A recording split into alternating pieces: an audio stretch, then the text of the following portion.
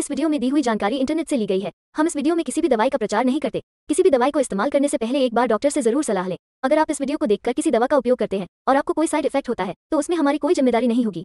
Lupisulin M तीस solution for injection चालीस में मध्यवर्ती असर करने वाला और कम समय तक असर करने वाला इंसुलिन होता है।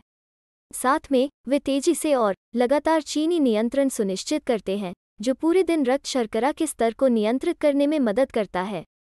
यह एक इंजेक्शन के रूप में दिया जाता है और आपका डॉक्टर या नज आपको इसे इंजेक्ट करने के सही तरीके से प्रशिक्षित करेंगे। रक्त शर्करा के स्तर का प्रबंधन मधुमेह के प्रबंधन का एक अनिवार्य हिस्सा है।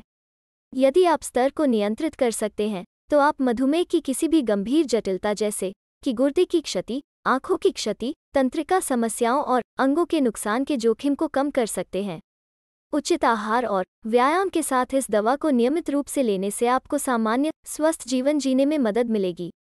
आपका डॉक्टर या नर्स आपको इस दवा का उपयोग करने के तरीके के बारे में मार्गदर्शन करेंगे।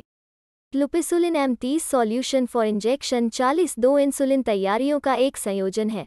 इंसुलिन आइसोफिन एनपीएच और मानव इंसुलिन, घुलनशील इंसुलिन।